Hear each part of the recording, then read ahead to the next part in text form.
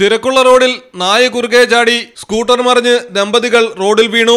തെരുവുനായി അപകടം വരുത്തിവെച്ചത് പാലക്കാട് ഗുരുവായൂർ റൂട്ടിൽ കല്ലേക്കാടിന് സമീപമാണ്.